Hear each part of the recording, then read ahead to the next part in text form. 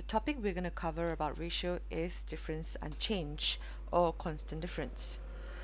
Under what situation is a ratio word problem? Will there be a difference and change or having a constant difference? It is when there is an equal amount of items being added or taken away from both groups in the ratio given. Let me give you an example with two bags of eggs, bags A and B. There are 7 eggs in bag A, 5 eggs in bag B. So there are two more eggs in bag A. Now I'm going to remove two eggs from each bag by crossing them out. What do you notice about the difference?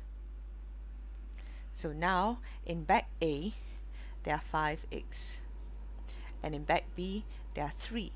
You will notice that the, dif the difference is still 2 more in bag A.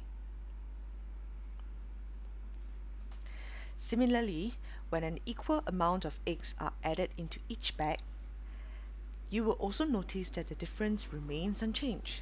For example, I'm going to add 3 eggs into each bag now.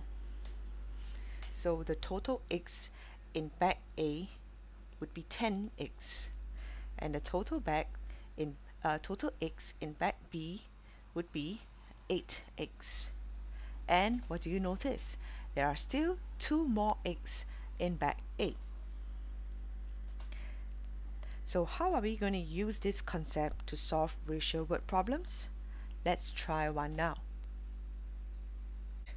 At first, the ratio of Sarah's savings to May's saving was 9 is to 7. So by looking at the ratio, we know that Sarah has a bit more money than May, which to be exact is 2 units more after each of them donated 680 to charity. Now this is the key phrase that somehow hinted us hinted to us that we are going to use the difference unchanged uh, concept to solve the question. Why? Because if each of them were to donate an equal amount of money, that means that Sarah would still have two units more money than May, provided that it's still the same um, the old ratio. But now, after donating, the ratio of Sarah's savings to May's saving became 5 is to 2. What was Sarah saving at first?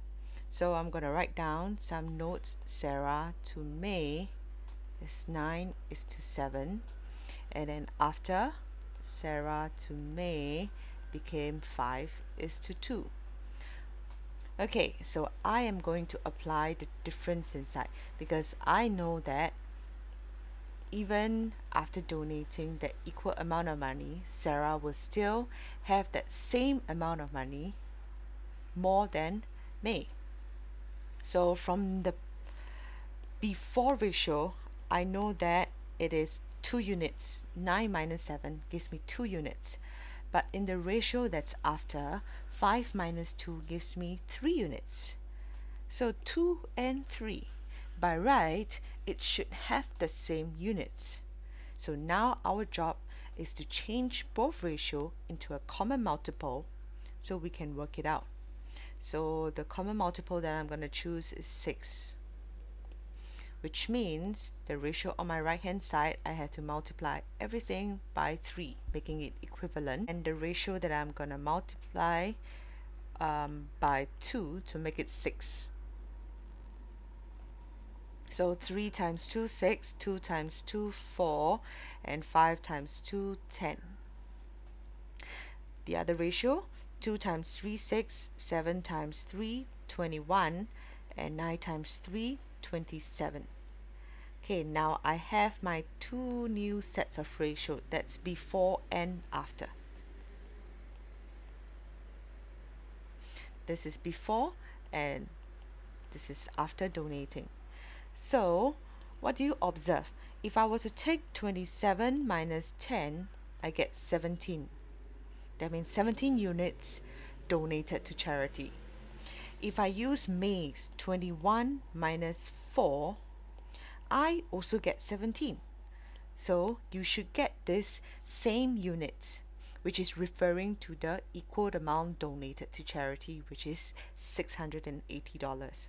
So now I can finally say 17, 17 units is equals to $680. And what does the question want?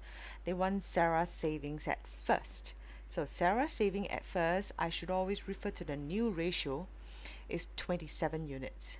So before I find 27 units, I will find one unit first, which is 680 divided by 17, and I'll get 40.